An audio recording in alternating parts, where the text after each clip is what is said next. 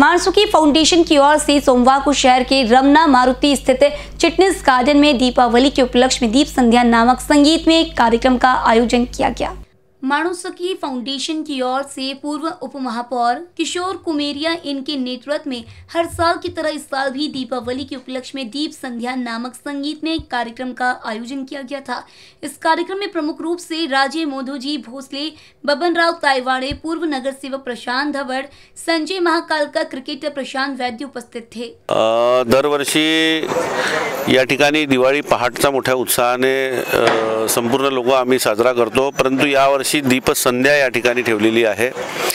कारण दीपावलीच्या दुसऱ्याच दिवशी ह्या कार्यक्रमाचं आयोजन असते.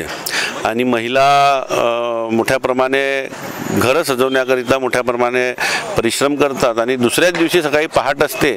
त्यांच्यामुळे त्यांना थोडासा त्रास होतो आणि तो त्रास लक्षात घेता यावर्षी मात्र दीप संध्याचा कार्यक्रम या ठिकाणी आयोजित केलेला आहे. संपूर्ण या भागातले परिसरातले लोक एकत्रित यावे. दिवाळीमध्ये जो आपला लोकांमध्ये काम करून जो थकवा होतो तो थकवा दूर व्हावा आणि जीवन जगत असताना उत्साह निर्माण व्हावा या उद्देशाने या ठिकाणी आमच्या मित्रपरिवारातर्फे दिवाळी संध्याचं आयोजन या ठिकाणी केलेलं आहे. व कुठले कुठले कलाकार येणार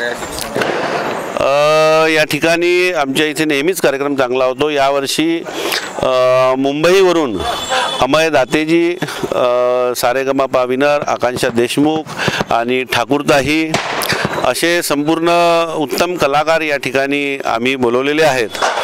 आणि एक चांगला सुंदर कार्यक्रम या कार्यक्रमाला लोकांचा चांगला प्रतिसाद असतो. याच्यामुळे या ठिकाणी आयोजन दरवर्षी करत असतो. इस कार्यक्रम में प्रमुख रूप से मराठी गायक अमित दाते, आकांक्षा देशमुख और स्वस्तिका ठाकुर अपने सुरों से लोगों को मंत्रमुग्ध कर दिया। इस कार्यक्रम का शुभारंभ अमित दाते ने गणेश वंदना से की। कार्यक्रम में गायक कलाकारों ने मराठी हिंदी गानों की पेशकश की। इस कार्यक्रम में बड़ी संख्या में लोग उपस्थित हुए थे। कैमरा पर्सन अजीत कुंवर के साथ अभिषेक पांसी बीसीएन न्यूज़ नागपुर।